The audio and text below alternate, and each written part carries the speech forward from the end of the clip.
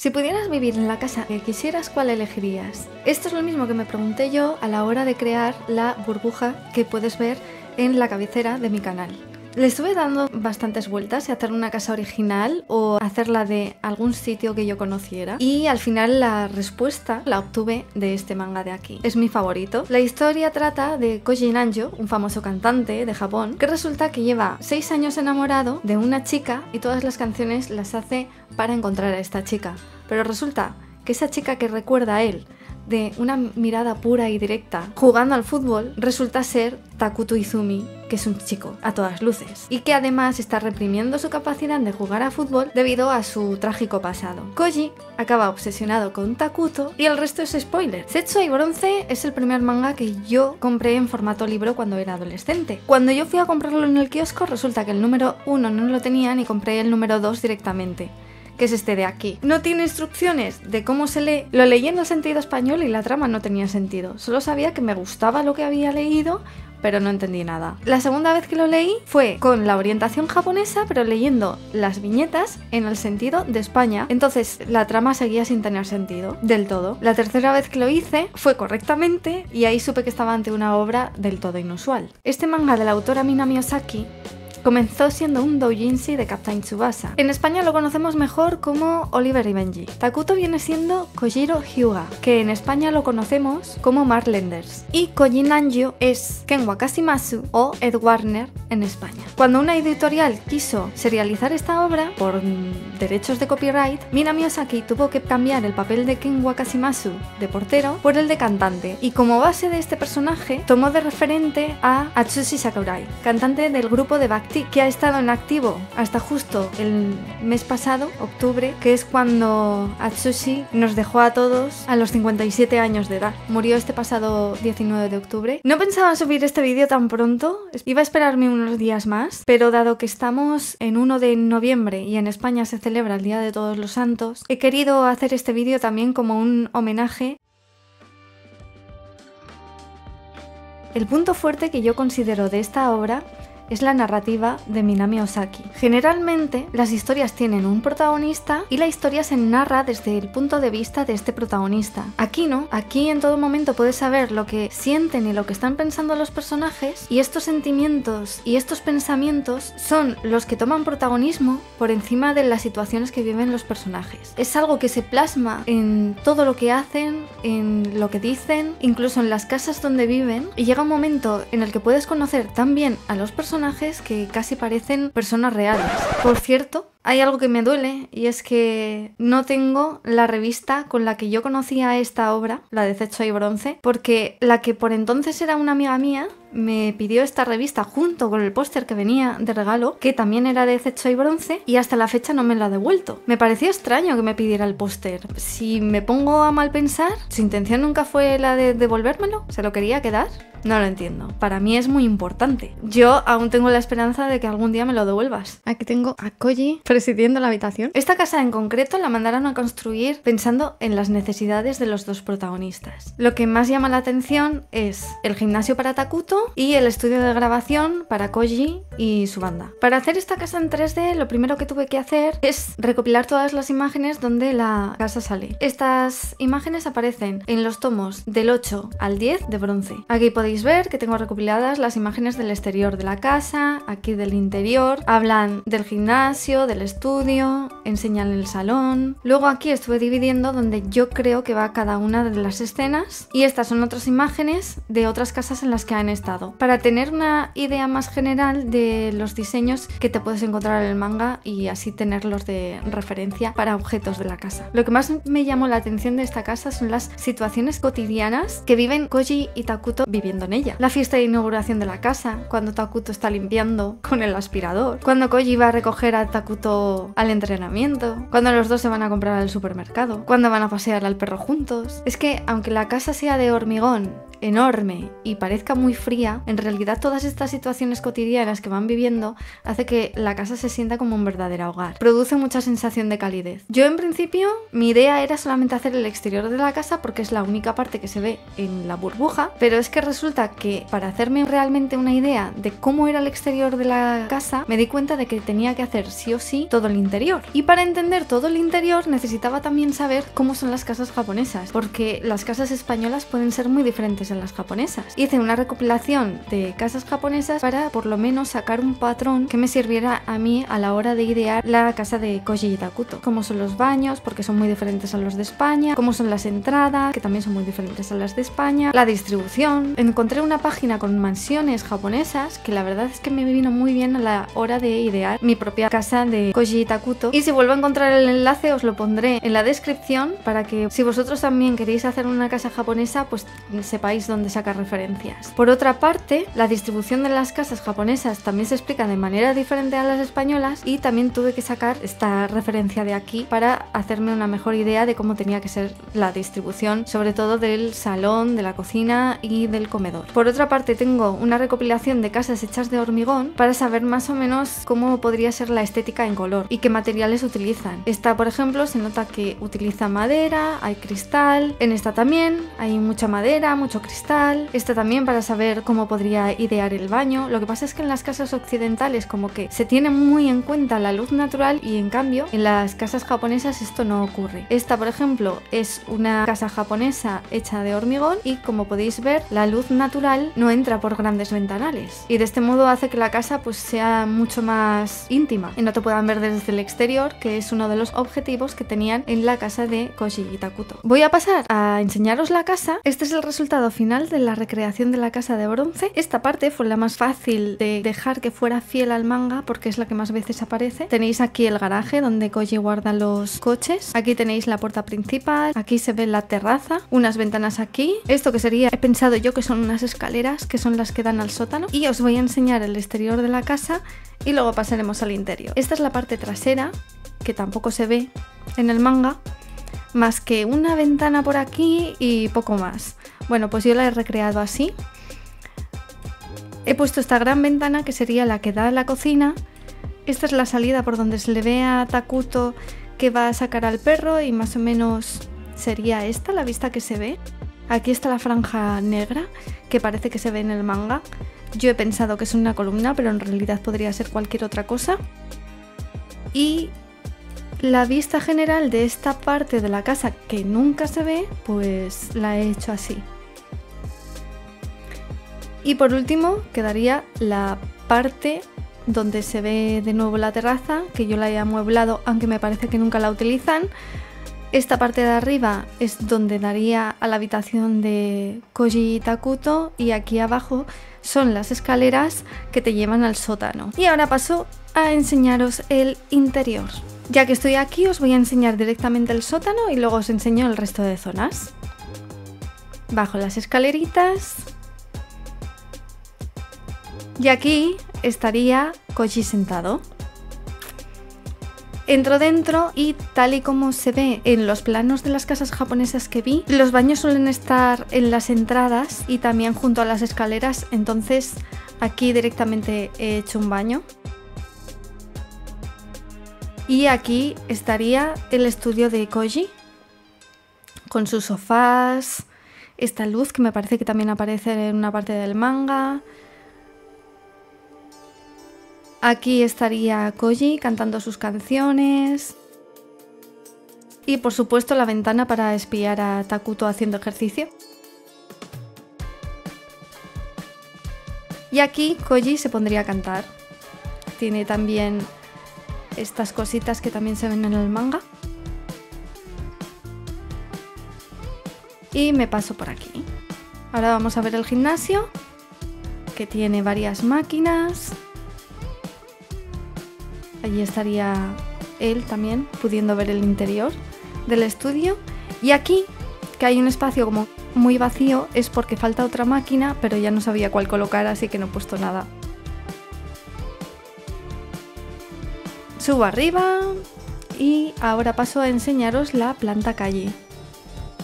Podría atravesar las paredes porque no hay colisiones, pero bueno, así os lo enseño bien. Este es el garaje, bien amplio, para que quepan los coches de Koji, que no son precisamente pequeños, la hierba, la puerta de la entrada.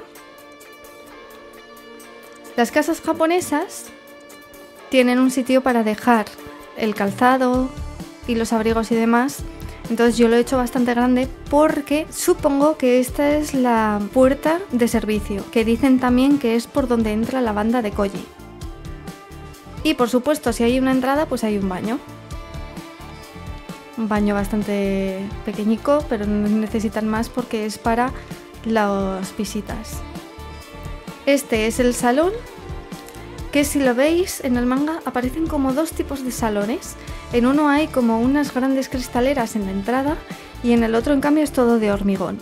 Yo he hecho una mezcla de ambos poniendo estas ventanas alrededor para que haya como una fusión de los dos diseños y por lo demás pues aquí sería donde se les ve en la fiesta de inauguración que he recreado un poco todo.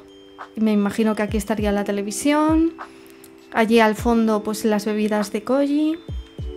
Sabemos por lo que pone de que es uno DLK, que el comedor está junto al salón y no está dividido por ninguna puerta. Entonces he puesto aquí el comedor. Y la cocina sí que tiene que estar separado y lo he hecho aquí. La cocina no aparece prácticamente, solamente aparece esta zona de aquí en la que estaría Koji cerrando la puerta.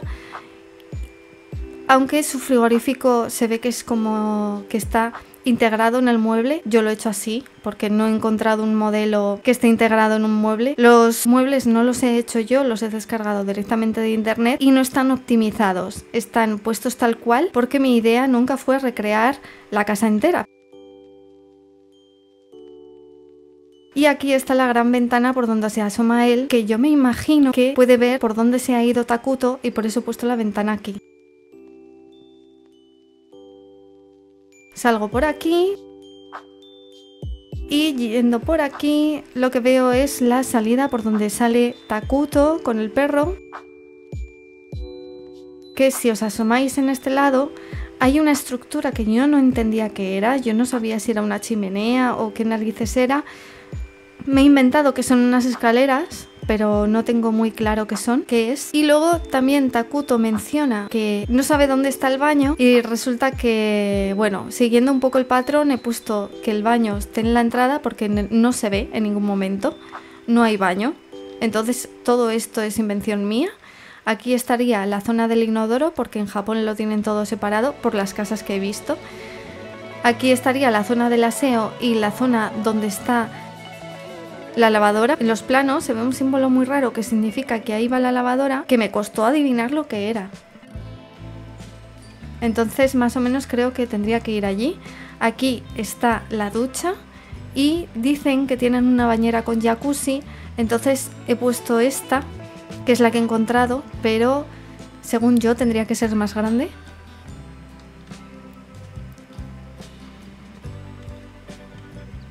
Vale, y ahora ya voy a subir a la primera planta que dicen que hay un dormitorio para invitados y no dicen que haya nada más. Pero yo he puesto otro baño porque si hay escaleras, pues toma un inodoro y así lo pueden utilizar las visitas. Y este sería el dormitorio de invitados con un armario, mesillas, tal. Y si veis, estas ventanas son más grandes que las que ponen en el otro lado, pero como estas ventanas dan a la entrada que utilizan Takuto y Koji, yo me he imaginado que podrían tener otro sistema con un muro más alto o algo así, y entonces podrían tener intimidad igual, porque ellos lo que hacen es poner este tipo de ventanas para tener intimidad. Aquí están las cristaleras, que se puede ver más o menos el salón. Aquí no hay nada, por eso de que no aparece nada más. Y estas serían las escaleras por donde se ve subir al perro. Y aquí está la terraza, que yo la he amueblado, ya os digo, porque en realidad nunca la utilizan, o eso parece. Y aquí están las escaleras que puedes espiar si la banda está entrando en casa o no. Subo las escaleras.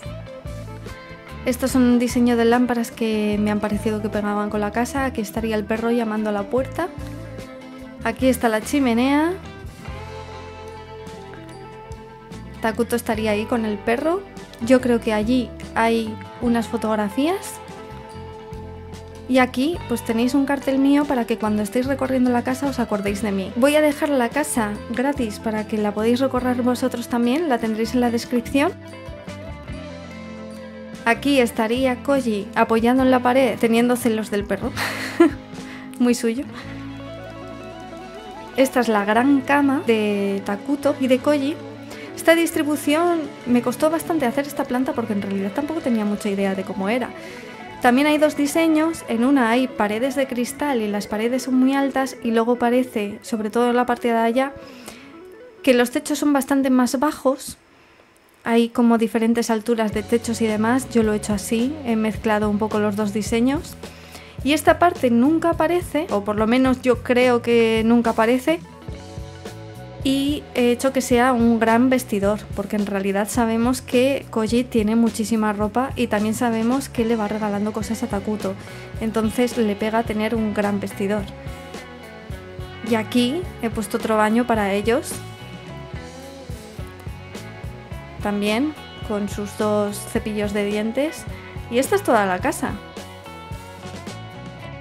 Me costó bastante recrearla, pero la verdad es que es una gozada el poder ir viendo las habitaciones e irte imaginando cómo las viven ellos, ¿no? Aquí está la gran cortina que abre eh, Takuto por la mañana pero este archivo pesa como más de un giga, entonces es bastante pesado, tarda un poco en cargar, pero es divertido. Para poder recorrer la casa, lo primero que tenéis que tener instalado es Blender. Esta es la versión que yo he utilizado, pero antes de instalar Blender también tenéis que saber si vuestro ordenador cumple con los requisitos para que funcione el programa. Entonces nos vamos a Requirements y tenéis que mirar esta parte. Si vuestro sistema puede correr el programa, entonces descargarlo sin ningún problema, porque si no lo, más posible es que os vaya muy lento el ordenador y que no podéis recorrer la casa bien. Entonces no perdáis el tiempo. Le dais a descargar según vuestro sistema sea Windows o sea Linux o sea Mac y lo dejáis instalado en vuestro equipo. Una vez tengáis instalado Blender, necesitáis veniros a esta otra página que se llama Gumroad. Aquí es donde podréis descargar la casa. He dejado varias capturas para que podáis verla también, cómo queda por dentro renderizada. Y aquí pone que vale 0 euros. Pero cuando vayas a pagar, verás que hay un 2 o más. Esto es porque puedes donar dinero a los creadores, pero no hace falta. Puedes poner un cero y decir quiero esto. Os aparece esta otra página, aquí ponéis vuestro correo electrónico y le dais a obtener. ¿Veis que pone cero? Eso es porque es gratis. Lo que tendréis que descargar es este archivo, que es un TXT, porque Gumroad no me dejaba subir la casa entera. La casa la he comprimido en formato zip, entonces pesa el archivo como 600 megas o una cosa así, pero en Gumroad solamente me dejaba subir 250 megas como mucho si ponía el coste a cero. Entonces por eso lo que vais a obtener es un TXT. Lo descargáis y obtendréis un enlace que lo tenéis que pegar en el navegador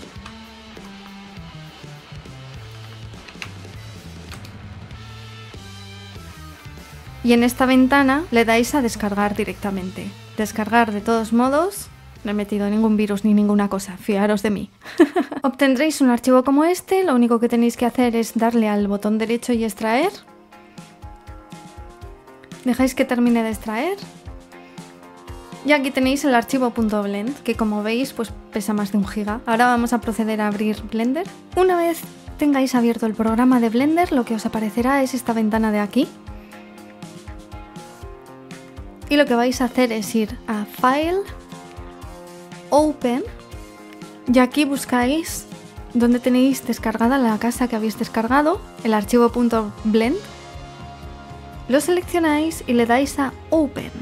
Tardará un rato porque como os digo, los objetos no están optimizados, entonces tarda en cargar. Esperáis a que termine de cargar todos los objetos y todas las texturas, que depende de vuestro ordenador, tardará más o menos. Aquí está cargando los objetos y ahora ya tiene cargadas las texturas. Una vez os hayan cargado todas las texturas, lo que veréis es esto. Si queréis ver una vista panorámica de la casa, lo que tenéis que hacer es apretar el botón central del ratón y con el botón presionado podéis girar la casa, izquierda o derecha, y así la veis entera. Si queréis transitar por la casa como he hecho yo, lo que tenéis que hacer es darle a View, Viewpoint, cámara. Y ahora le dais a View, Navigation, Walk Navigation. Funciona igual que cualquier videojuego. Con W vais hacia adelante. Con S hacia atrás. E sube la cámara. Q baja la cámara. D mueve la cámara a la derecha. A mueve la cámara a la izquierda y luego el ratón lo que hace es poder rotar la cámara. Os movéis libremente por toda la casa, ya sabéis que también podéis atravesar los objetos y las paredes porque no hay colisiones y una vez que hayáis hecho esto, si queréis volver a la vista anterior, lo que tenéis que hacer es presionar el botón derecho del ratón. Esto os volverá a la posición inicial de la cámara y luego le dais a View, Viewpoint, Cámara. Y aquí estáis de nuevo en la vista general. No necesitáis saber nada más para poderos mover por aquí, os lo he hecho así, fácil, para que no tengáis que aprender a utilizar todo el programa. En la época en la que publicaron este manga, lo normal en las historias 801 era que los finales fueran trágicos. O si no, tenían un final abierto ambiguo, pero normalmente había mucha tragedia. En este manga no paran de repetir que los milagros existen y los protagonistas siempre trataban de crear un milagro para el otro. Yo creo que ahora mismo los personajes están en una situación en la que necesitan un milagro que no puede salir de ellos, sino que la única persona que puede realizar este milagro es la propia autora y yo espero poderle dar esa inspiración, sobre todo si no crees a estas alturas en los milagros, yo te invito a que te pases por mi otro canal que se llama Mortimer, porque de verdad los milagros existen y hay mucho más allá de lo que podemos percibir con nuestros sentidos. Aunque suene presuntuosa, yo te pido, por favor, Minami Osaki, que crees un milagro para ellos. Feliz Día de Todos los Santos.